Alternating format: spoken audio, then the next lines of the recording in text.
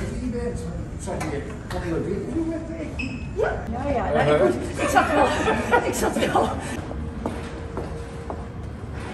Zoveel goede herinneringen hier. We hebben bijvoorbeeld van de zomer hadden we de zomerschool georganiseerd voor kinderen die extra hulp nodig hebben. En dan zie je ook dat de bibliotheek veel meer is dan alleen maar boeken. Het is ook gewoon een plek waar heel veel mensen thuis kunnen zijn of ook echt een plek, een plek in Nederland vinden. Dat, dat, dat vind ik hier in de bibliotheek ook. De rol van het taalhuis, mensen die geen internet hebben, die dan hier komen internetten. Dus dat doet de ZB echt geweldig. Het is echt een van mijn favoriete plekken in Zeeland. Om, om heel veel redenen. Ehm, maar één is bijvoorbeeld wat hier allemaal in die kelder ligt in het magazijn. Bijvoorbeeld ligt in het magazijn van de ZB het proefschrift van mijn opa. Is in het Duits. En dat gaat over het maag-darmstelsel van de zeekomkommer. Heeft hij in de jaren 30 geschreven. Of vol Ik dacht- subjects. belangrijk onderwerp. Ik dacht op een gegeven moment, ik ga eens kijken of dat ergens te krijgen is. En dan is het dus gewoon in de ZB zelf. En dat heb ik heel vaak met de ZB. Dit is natuurlijk een, nogal obscuur boek.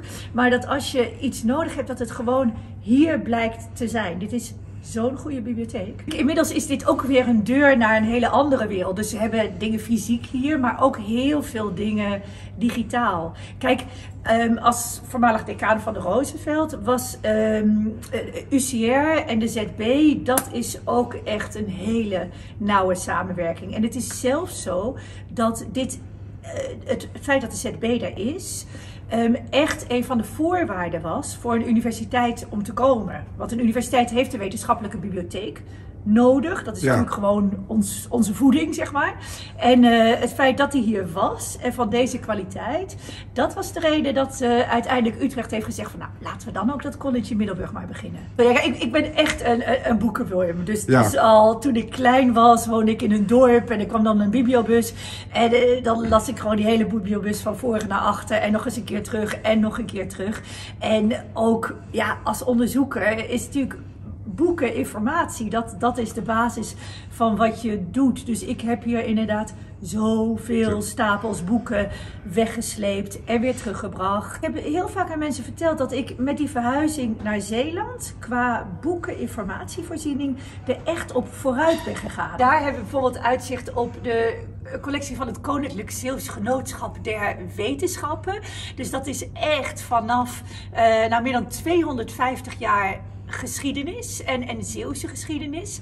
En dan heb je hier ook echt hele bijzondere boeken. Als je die wil lezen, moet je in dat kamertje zitten. En dan krijg je een kussentje en een handschoen aan. Je bent zelf een, een liefhebber en je bent natuurlijk eh, ook een belezen vrouw. Maar eh, hoe zie jij het belang van lezen gewoon in Nederland in het algemeen? En eh, de- digitale geletterdheid, dat soort zaken. mediawijsheid. En hoe kijk jij er tegenaan?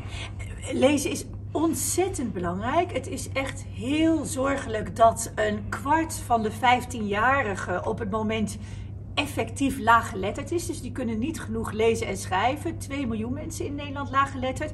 En dat gaat echt achteruit. Dus het is zo, zo belangrijk om bibliotheken in de lucht te houden.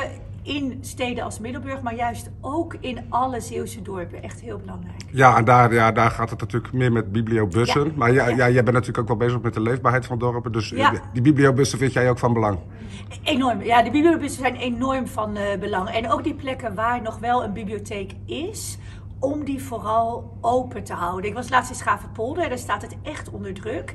En dan zie je dat die bibliotheek daar, dat is het hart van het dorp. Daar Dat is een mooie bibliotheek ook nog, hè? Zo mooi. Ja. En daar komen allemaal ouderen, er komen eh, nieuwkomers, statushouders, die leren daar Nederlands. Ehm, eh, de kinderen van, van de scholen in de buurt, die vinden elkaar daar. Dus het is zo belangrijk als, ehm, ja, een, een bibliotheek is toch vaak een deur op, op de wereld. Ja. En die deur moet je wel open houden.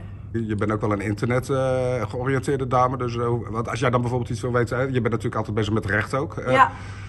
Zijn er ook nog dingen die, die alleen in de bibliotheek zijn te vinden en niet eh, in, juridische bronnen bijvoorbeeld online? Ja, absoluut. Dus ik zeg altijd tegen mijn studenten: het recht valt niet te googlen. Dat kan niet. Het recht is een systeem. Je moet dat systeem kennen. Er zijn boeken die het systeem uitleggen. En daar heb je toch handboeken voor, voor nodig. Anders zie je maar een heel klein puzzelstukje en niet het hele plaatje. Ik herinner me ook met onze kinderen, toen ze net leerden lezen, dat we dan gewoon urenlang hier zoet waren. En uh, nou, als ze hier in zo'n zo'n stoel of met een koptelefoon op, uh, zo, ja, ook gewoon zulke fijne middagen hadden.